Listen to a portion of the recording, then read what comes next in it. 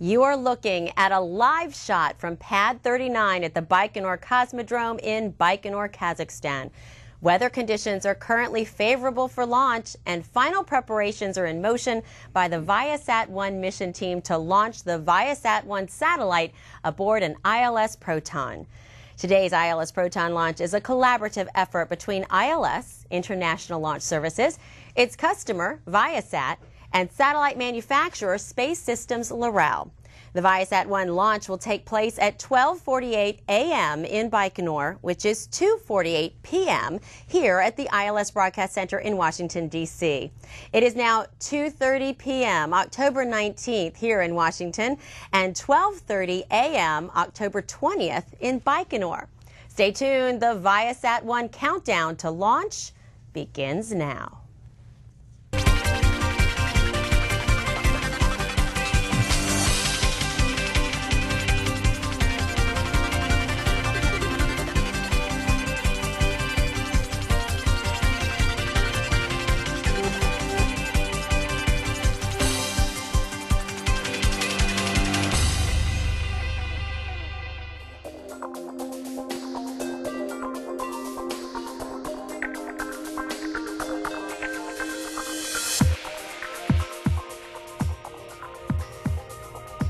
Thank you so much for joining us for today's launch of the Viasat 1 satellite. I'm your host, Jennifer Gladstone.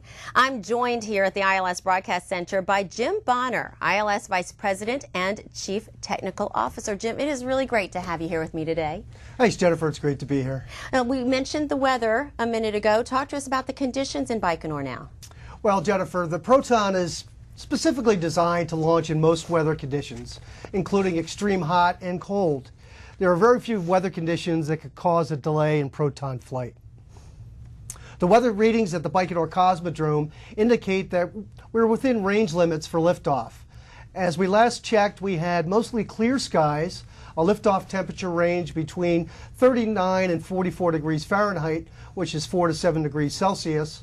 The ground winds were from the northeast at 5 to 8 meters per second, and all the wind constraints are nominal and we're good to go. So go for launch as we speak. All right, go for launch, Jim. Thanks so much. Now, here are some important facts about today's ILS Proton launch. This will be the 369th Proton launch overall since Proton's first flight in 1965 and the 68th ILS Proton launch. This is the fourth ILS Proton launch of 2011. Telstar 14R was launched successfully in May. SES-3 with the KazSat-2 satellite in July, and QuetzSat-1 was launched successfully on September 30th. The satellite operator for today's launch is Viasat, located in Carlsbad, California. This will be the first Viasat satellite launched on an ILS Proton. The satellite manufacturer is Space Systems Loral, based in Palo Alto, California. This will be the 19th Space Systems Loral satellite launched on an ILS Proton. Now let's take a moment to hear from the president of International Launch Services, Frank McKenna, who was interviewed earlier with Mark Dankberg, chairman and CEO of Viasat the fourth commercial mission for the year for ILS, and it will be the sixth overall Proton launch this year, following three commercial missions and two federal missions. ILS and Khrunichev have been able to accommodate such a rapid launch pace through the implementation of the second processing facility. This adds the capability to reduce the time frames between campaigns from five to six weeks to three weeks, unsurpassed capability in the industry. Viasat 1 will be the largest satellite that ILS Proton has launched to date. It's a, really the first of its kind of a new class of satellites that's totally oriented towards high throughput, high bandwidth. This will use the full Phase 3 capability to launch 6,700 kilograms for the Viasat 1 satellite. First one, most important, is our Wild Blue business, delivering high speed broadband to consumers throughout the United States at speeds that are much higher than what they can get now or in any other way. We also have really exciting applications in aviation with JetBlue, first of all, for in-flight broadband, and we're working on really exciting applications in satellite news gathering, defense, and a bunch of other areas.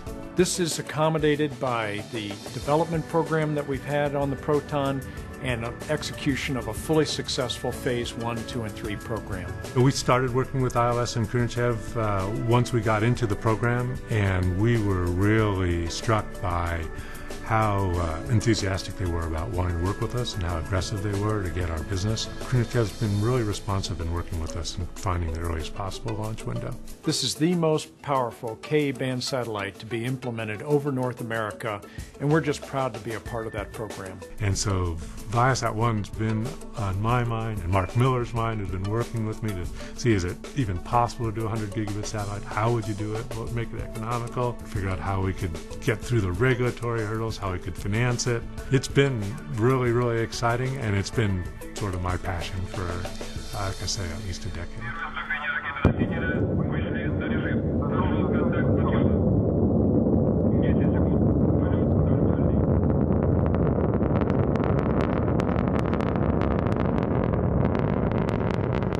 Thank you for joining us today for the ILS Proton launch of the Viasat-1 satellite for Viasat, based in Carlsbad, California, with 2,200 employees worldwide. Viasat produces innovative satellite and other digital communication products that enable fast, secure, and efficient communications to any location. The ILS Proton launch of Viasat-1 will be the first Viasat satellite launched on an ILS Proton. Viasat-1, an all Ka-band satellite, was built on the Space Systems Loral 1300 platform and is the highest throughput satellite ever built, with over 130 gigabits per second, more than all of the satellites over North America combined. Viasat 1 will be located at the orbital position of 115 degrees west and will cover the continental United States and most of Alaska, Hawaii, and Canada. So if you're watching the launch in the United States or elsewhere around the world, or if you're with the Viasat 1 mission team watching live from the Baikonur Cosmodrome, I'd like to close with one final message for today's launch. Go Proton, go BreezeM, go Viasat 1. The ILS Proton mission for the Viasat 1 satellite will take 9 hours and 12 minutes from liftoff to injection into geostationary orbit. Now let's take a look at the Viasat 1 mission profile. The following is the description of the mission flight profile of the ILS Proton launch vehicle with the Viasat-1 communication satellite on board. As the ILS Proton lifts off from its launch pad, it immediately executes a roll maneuver to align its flight launch azimuth to 61.3 degrees in order to achieve a parking orbit inclination of 51.5 degrees as it travels eastward. The first three stages function to propel the orbital unit to a suborbital trajectory. The orbital unit consists of the BreezeM payload adapter system and the Viasat-1 satellite. The sequence starts with the ignition of the powerful first stage engines that output 10.5 meganewtons or 2.4 million pounds of thrust at sea level, which is equivalent to the thrust power of nine Airbus 380 commercial jets at takeoff. The engines fire for about two minutes, during which time the ILS Proton experiences maximum dynamic pressure, and then the first stage separates from the rest of the vehicle. The second stage engines follow with nearly 2.4 meganewtons of thrust for 3.5 minutes, and then the third stage engine fires with 583 kilonewtons of thrust for four minutes. The payload fairing is separated soon after third stage ignition, high above the Earth's dense atmosphere. The drop zones for each of the stages and the payload fairing have been predetermined for minimal impact to specified areas. At stage 3 separation, the orbital unit has traveled from Baikonur to Russia near the eastern edge of Kazakhstan at 51.5 degrees north latitude which corresponds to the parking orbit inclination and is moving about 7,200 meters per second or 4.5 miles per second relative velocity. The upper stage of the ILS Proton rocket is called the BreezeM and is designed to inject payloads into a wide variety of target orbits. Five BreezeM burns have been designed to inject Viasat-1 into a geostationary transfer orbit. The first BreezeM burn occurs about a minute and a half after the third stage separation, when the orbital unit is still in a suborbital trajectory. The burn is in the direction of the velocity vector and will last long enough to achieve a low Earth circular parking orbit of 177 kilometers. This 7.6 minute burn spans from Siberia to Russia's east coast. The second Breeze M burn centers the ascending node of the first orbit, whereby the orbital unit crosses the equatorial plane as it travels from south to north. The resulting elliptical orbit is called the intermediate orbit. This 17.7 minute burn spans from South Atlantic 800 miles east of Rio de Janeiro to Libya. A little over two hours after the second burn, the third Breeze M burn starts. Soon after this burn shuts down, the depleted auxiliary propellant tank is jettisoned, and the fourth Breeze M burn begins. Just like the second burn, these two combined burns center the ascending node of the second orbit. The resulting orbit is called the transfer orbit, where the apogee is greatly increased to closely match the geosynchronous altitude. These two burns add up to 17.2 minutes and span from South Pacific 200 miles west of Santiago, Chile to 400 miles west of Morocco. During the coast phases, the Breeze M performs attitude maneuvers in order for Viasat-1's solar arrays to be exposed to the sun at a predetermined solar illumination angle, which is designed to satisfy its thermal and power requirements. The fifth and final Breeze M burn occurs at the apogee in the descending node of the transfer orbit. This is where the orbital unit will perform a big plane change maneuver from 49 degrees to 30.4 degrees inclination and increase its perigee to almost 2,400 kilometers in a 4.4 minute burn. About 13 minutes later, the Viasat-1 satellite is separated from the Breeze M to reach its targeted geostationary transfer orbit. The total mission time from launch to spacecraft separation is approximately 9 hours and 12 minutes. The first burn of the Breeze M upper stage is scheduled for completion about 19 minutes into the flight. Our broadcast will conclude about uh, after that burn, since the rocket will be out of range of our tracking station and will receive not receive any updates at that time. Remember, you can stay up to date on the Viasat 1 mission by visiting the ILS website, ilslaunch.com, by following us on Twitter, and by liking us on Facebook. We are now about six minutes away from liftoff from the Baikonur Cosmodrome. Let's take a closer look at Viasat 1's journey to Launch Pad 39. Typically, it takes about two years for a launch vehicle and satellite to be built, tested, and shipped to the launch site. From crew and spacecraft arrival, it can take from four to seven weeks to complete a launch campaign. Today's launch campaign started with the main team arrival at Baikonur. The spacecraft arrived aboard an Antonov cargo jet at Yubileyny Airfield. The spacecraft is offloaded from the plane and placed onto a rail car. The thermally controlled rail car is hooked up to maintain the proper environmental conditions for the spacecraft during the six hour trip to the launch processing facilities. Once in the high bay, the spacecraft team does a series of system tests and other standalone operations, including fueling the spacecraft. Fueling of the spacecraft was then completed. The satellite is then mated to the Breeze M upper stage and rotated horizontally to be encapsulated in the payload fairing in Hall 101.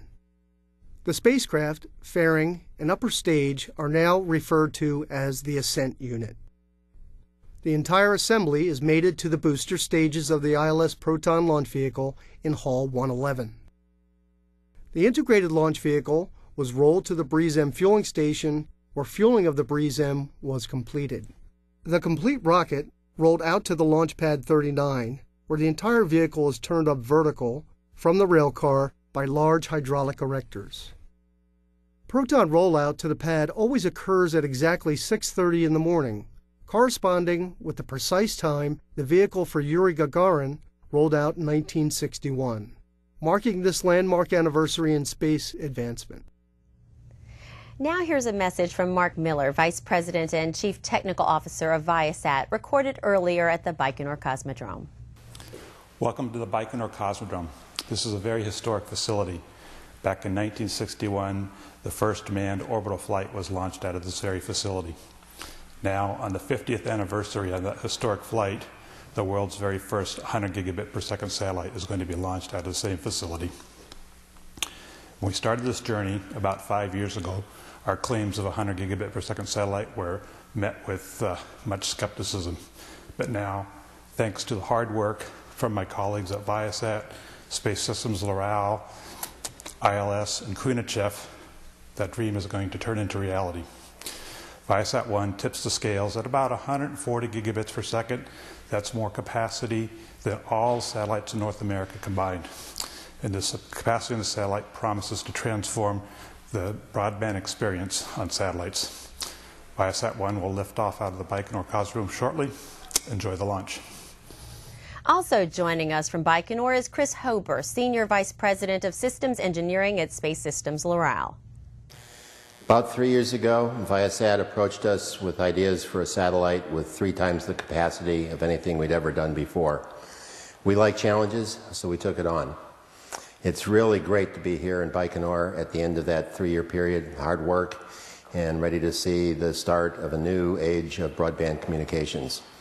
So I have one message for the employees of Space Systems Loral, Viasat, Khrunichev, ILS, and that's Go Proton, Go Breeze M, and Go Viasat 1. Xplornet Communications is Canada's leading rural broadband provider and will use the Viasat 1 capacity owned by Telesat to provide high-speed internet access in Canada. John Maduri, Chief Executive Officer of Xplornet, sends this message from Baikonur. Hi, I'm John Maduri, CEO of Xplornet. Canada's leading provider of broadband to rural communities. I'm delighted to be here at the Cosmodrome in Baikonur, Kazakhstan. This is a historic location where uh, the first manned orbital flight occurred. Think of the name uh, Sputnik, Yuri Gagarin. This is also a historic moment for Canada. With the launch of Viasat 1, Xplornet will be able to offer fast, affordable, reliable, high speed internet service everywhere. We're excited to be working with our partners at the Loral, Viasat. I'm proud of what our employees have accomplished. We've raised in excess of $500 million to make this vision come to reality. Again, later in 2011, we'll be able to offer high speed internet right across our great country. Thank you very much to our employees and our partners. As the ILS Proton travels easterly downrange, our viewers will notice some time lags in our reporting of key mission milestones. The reason behind this delay is that the ILS Proton follows its pre-programmed flight path. It will pass out of range of the Baikonur receiving stations. At this point, the signals are received by stations downrange, then they're transmitted back to Baikonur, and this is going to cause some small delays in our reporting. But at this time, it's a moment of truth, Jim. It is time to uh, go and take a look at uh, the last few moments before the rocket takes off. Very good. Um, as you know, um, uh, today's launch of the Viasat 1 satellite on ILS Proton is a result of an accumulation of a lot of hard work from a lot of hard people. And all those people have worked together today, bringing us to this moment. We're now 20 seconds away from launch. And the final countdown. We are 10, 9, 8, 7, 6, 5, 4, 3, 2, 1. Ignition, start, and we have liftoff of an ILS Proton rocket from the Baikonur Cosmodrome in Kazakhstan with the Viasat 1 satellite on board. In about 10 seconds after liftoff, the rocket does a roll maneuver will soon experience max dynamic Q uh, or max dynamic pressure. This is the maximum aerodynamic load on the vehicle that corresponds to about Mach 1.6 and occurs about 1 minute and 3 seconds after liftoff. Jim, this has been probably one of the prettiest nights I have seen one of these rockets go up.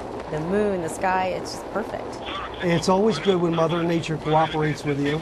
It's difficult enough launching a rocket, but to have a beautiful night, beautiful weather, and of course the added dimension of the moon, just wonderful. So far, so good, it looks. So far, so good, as our Russian colleagues say. Uh, everything seems to be proceeding nominally as the vehicle heads in an easterly direction with a flight azimuth of about 61.3 degrees.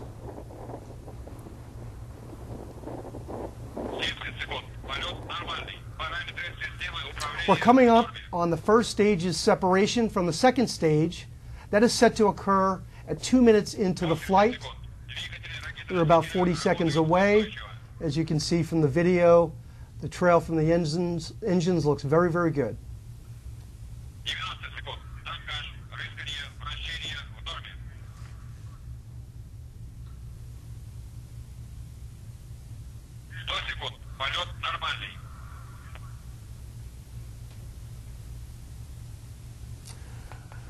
Okay, at this point, uh, we're just waiting on, on the first stage to complete and waiting for confirmation of separation, which should be coming along very shortly.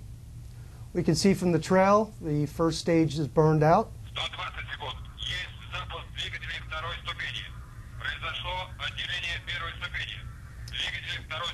And we have confirmation of a good separation between the first and second stages. The second stage engines actually ignite while still attached to the first stage, and the exhaust from those engines escapes through the open gridwork between the stages. And it looks like we have a, a signal of ignition of all four stage engines. They will burn for a total of about 3 minutes and 27 seconds. The next key mission milestone will be stage 2-3 separation at L plus 5 minutes and 27 seconds. 20 seconds later, the payload fairing halves will jettison. All right, Jim, thank you so much. Let's learn a little bit more now about the manufacturer of Viasat 1, Space Systems Loral. As the leader in satellites for consumer broadband, Space Systems Loral has provided Viasat with a satellite that meets its new system architecture for high capacity. Viasat 1, we think, is going to change satellite broadband industry, and we ended up coming up with a system approach to that, which encompassed everything from how we did gateways, how we did the satellite design, how we did the user terminals, to really get the best yield that we could on the capacity of the satellite.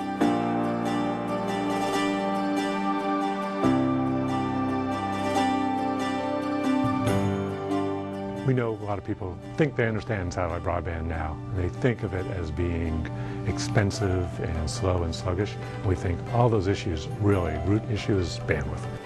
We're going to be able to change those economics, change the way people perceive satellite broadband. Viasat 1 will be providing broadband coverage for the continental United States, including Hawaii and Alaska, from an orbital slot of 115.1. And we also have beams that provide coverage for the southern parts of Canada. Space Systems Loral has more than four decades of experience building Ka band satellites. The company's highly reliable 1300 satellite bus has proven to be an excellent platform for high throughput satellites with Ka band spot beam technology. Its scale maximizes the amount of spot beams, equipment, and thermal dissipation that can be accommodated. The Viasat 1 spacecraft is one of the most hardware intensive satellites SSL has ever built.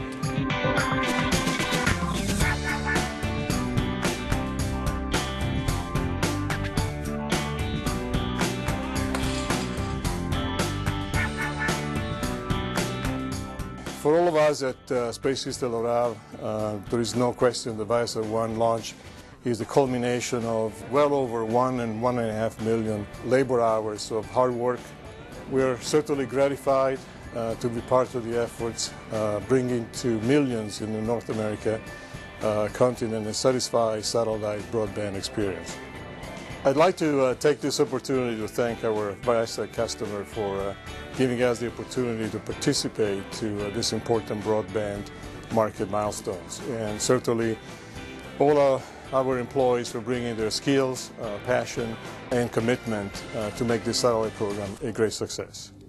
This satellite, this capacity is going to make an enormous difference in the value of the services that people get the first day we turn it on.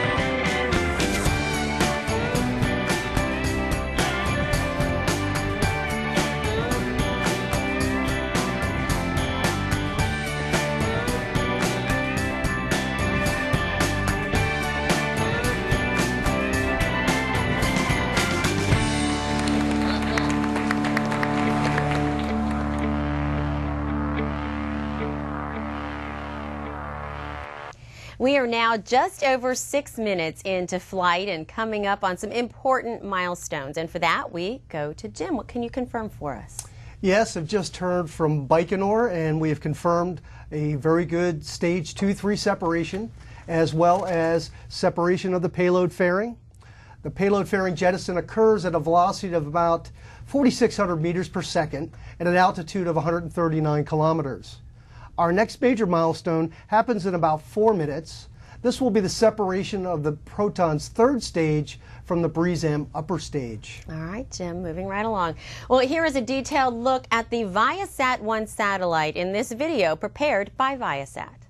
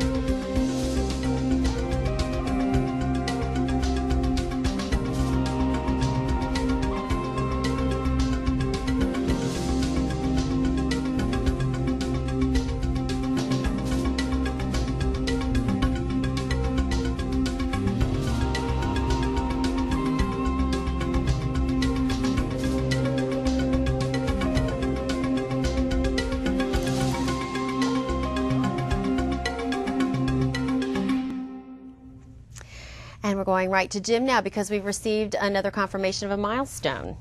Yes, Jennifer, very happy to report that we have separation of the third stage from the Breeze-M upper stage. All right, and that said, let's take a quick look at the Breeze-M main engine.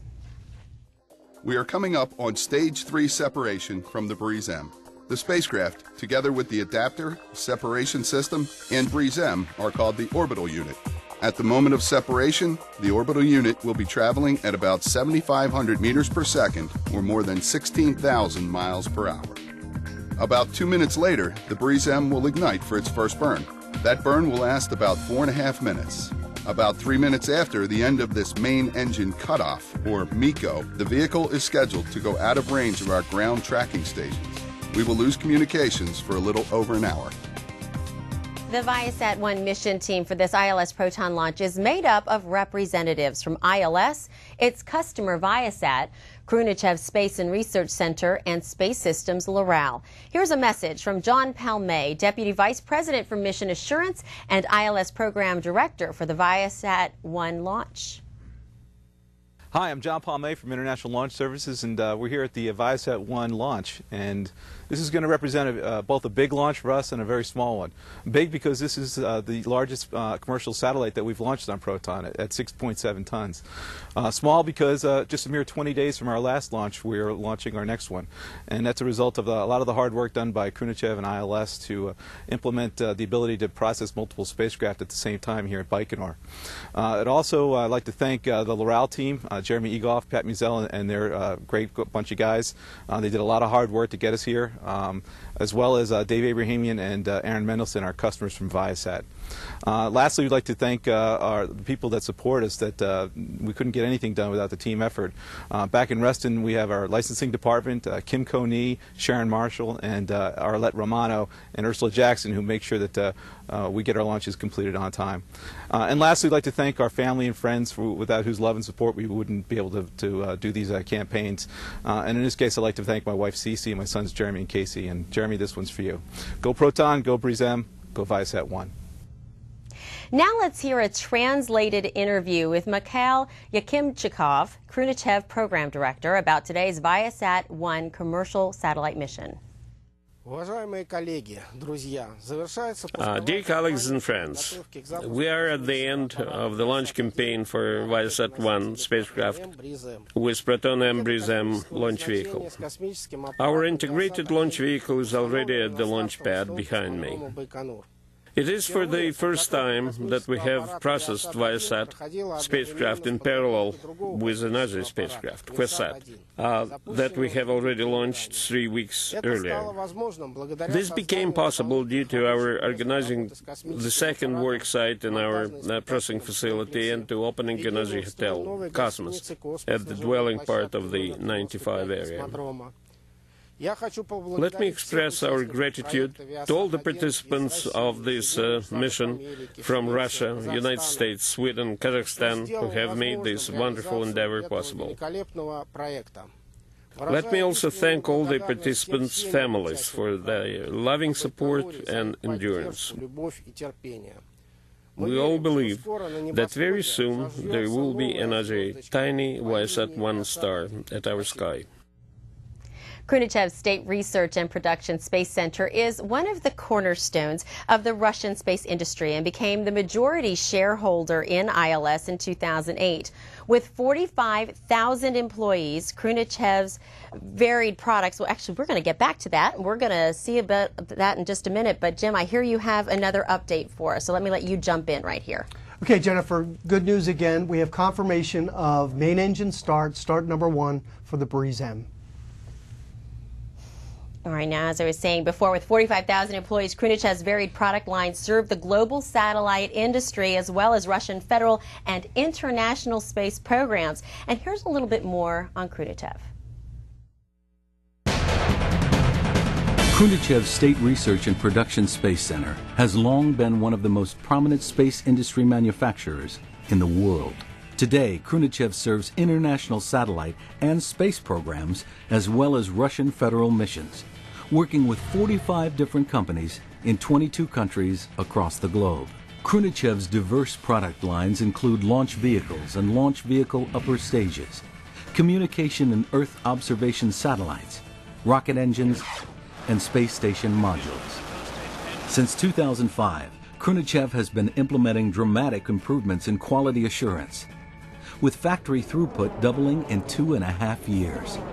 In 2008 alone, Khrunichev was responsible for orbiting more than 39% of the total world space cargo.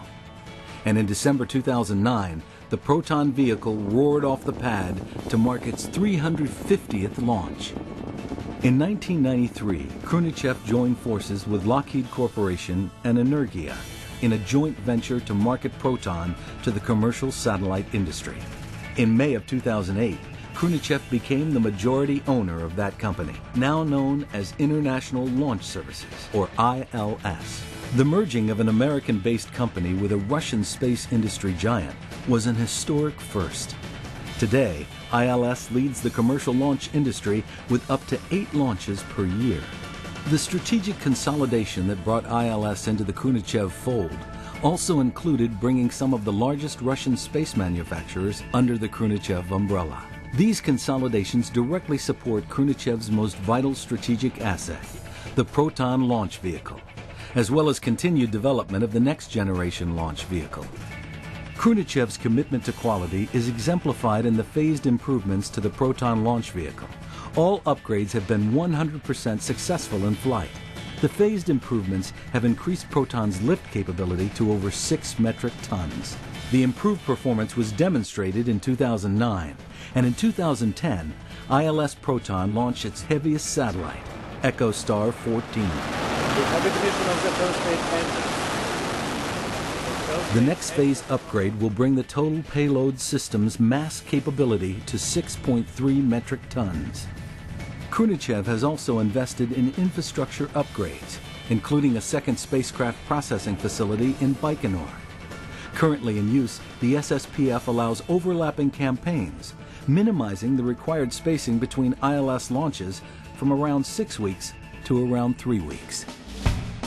Khrunichev's commitment includes the development of the next generation of launch vehicles. The Angara launch vehicle system will include a light, medium, and heavy lift variant to cover the entire satellite mass spectrum. The Angara engines will utilize an environmentally friendly liquid oxygen kerosene mixture. Ongoing investment in improvements allows Khrunichev and ILS to provide significant value to customers, and a steady launch tempo provides a backdrop for a sustainable future serving the global space industry.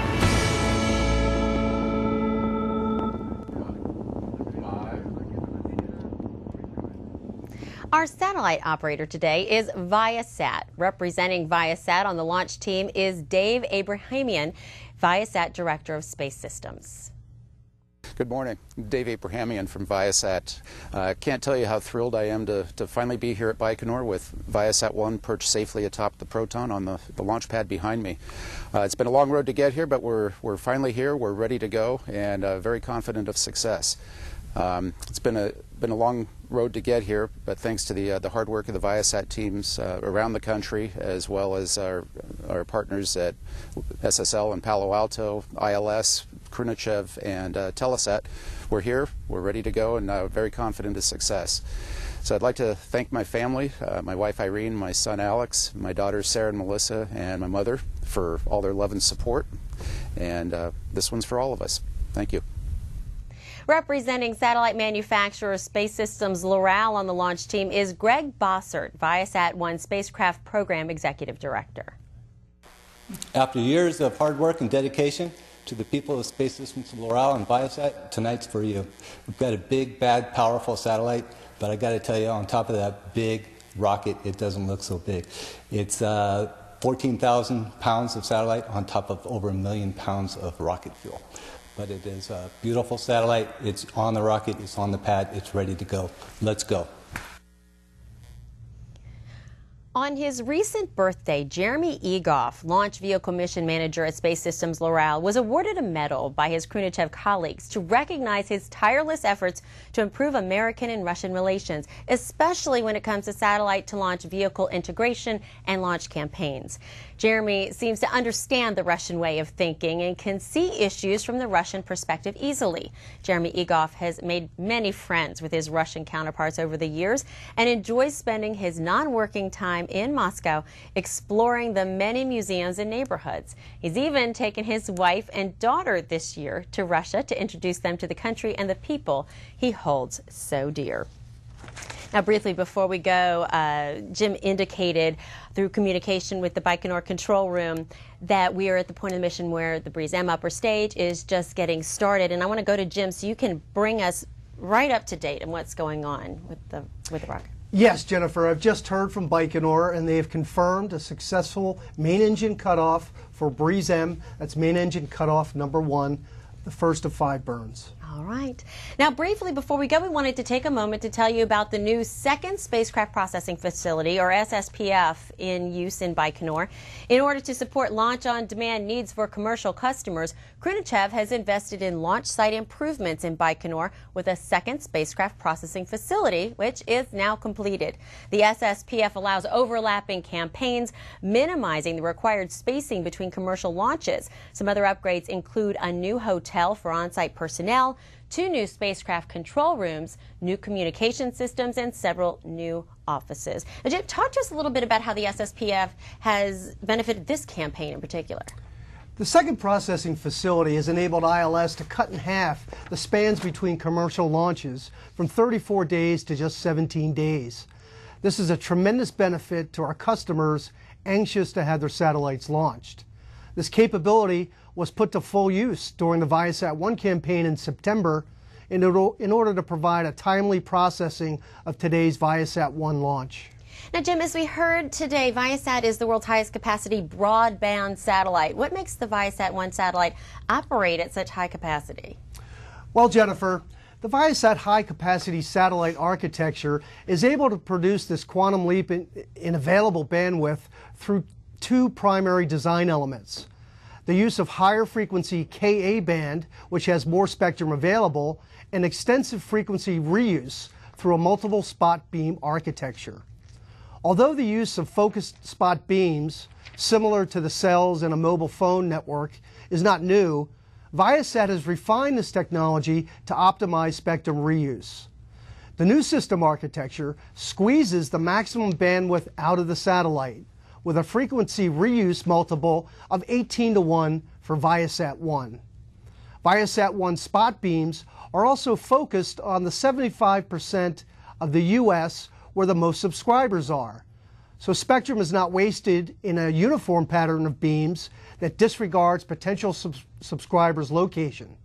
Finally, Viasat SurfBeam gateways and terminals increase the total satellite throughput even further through an ability to coordinate frequencies, efficiently allocate spectrum, and adapt the varying link conditions. All right, so we had a beautiful launch, but what has to happen after the Proton flight in order for the satellite to become operational? That's a good question, Jennifer. Let's look at the big picture. Our broadcast takes us through the first Breeze M burn. After the broadcast completes, the Breeze M will execute four more burns before separating the spacecraft into a geostationary transfer orbit at 9 hours and 12 minutes into the mission.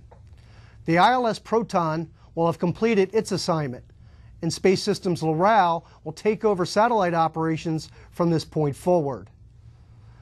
The spacecraft itself will then have to complete planned maneuvers over the next several days, which include solar array deployment, reflector deployment, and a series of apogee engine burns. These burns will bring the orbit inclination down to zero degrees and raise the perigee to match the apogee, resulting in a circular orbit over the equator. Following a period of in-orbit testing, the spacecraft will settle into its operational position at 115 degrees west longitude and begin to generate revenue for the customer. All right, well, before we go today, we want to say hello to some folks. This launch has been shown in areas all over the country in North America. We want to say hello to the folks with um, Viasat in Carlsbad, California, and also their inside offices in Englewood, Colorado, and outdoors in Duluth, Georgia there's your picture or your seat. It's a big party they're having there they for, for this launch. It is a big deal. This is big news. Viasat's customer Xplornet is going to be viewing the broadcast at their various locations in Canada, and Space Systems Loral will be viewing the broadcast in their headquarters in Palo Alto, California. So as I said, all over the country and Canada as well. Well, the mission is going well, and as expected, a successful liftoff of the ILS Proton at 12:48 a.m. in Baikonur. Confirmation of spacecraft separation is expected shortly after midnight Eastern U.S. time and around 10 a.m. in Baikonur on October 20th. Remember, you can always stay up to date on the Viasat 1 mission by visiting the ILS website, ilslaunch.com, following us on Twitter, and by liking us on Facebook. At ilslaunch.com, you can see updates on the progress of the Viasat 1 mission. Check out blog entries and pictures from the ILS Viasat 1 launch team, and check out the beautiful launch posters from this and previous launches, and that's the beautiful poster from today's mission. The next ILS Proton launch is for AsiaSat with the AsiaSat 7 satellite that's coming up in November. And this concludes our live coverage of the ILS Proton Breeze M vehicle launch of the Viasat 1 satellite. I'd like to thank Jim Bonner, ILS Vice President and Chief Technical Officer, for his updates on this mission. Jim, thank you so much. Thank you, Jennifer. And on behalf of the ILS team and our partners and customers worldwide, I'm Jennifer Gladstone.